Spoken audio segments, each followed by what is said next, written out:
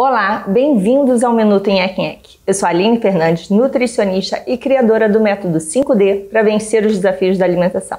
No episódio de hoje vamos falar das crianças que comem muita besteira e trocam as refeições por guloseimas. Seu filho só quer comer bolacha, pizza, pastel, chocolate. Eu posso falar aqui milhões de guloseimas.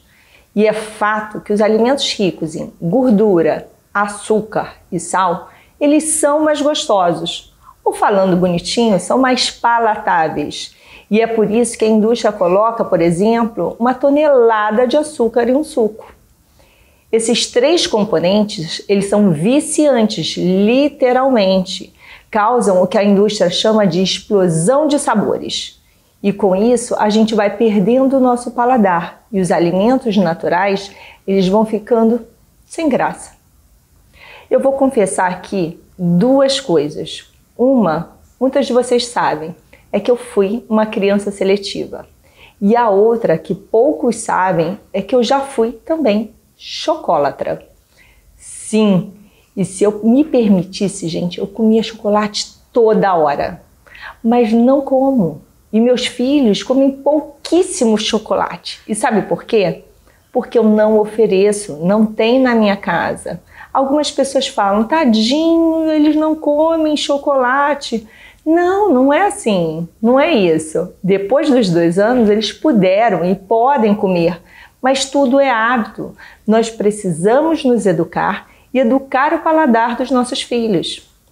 Aqui em casa, a gente compra muitas vezes uma barra de chocolate 70%. Eu confesso que eu nem abro, porque a minha vontade é quando eu abro uma barra de chocolate é comer ela inteirinha eles abrem normalmente com o pai e cada um come um quadradinho. E se você oferecer mais, normalmente eles não querem. E isso não é lavagem cerebral, é construção de uma relação saudável com os alimentos, de hábitos saudáveis que irão para a vida toda.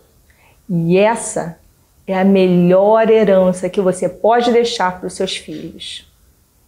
Pense bem e lembre-se da responsabilidade de cada um em relação à alimentação.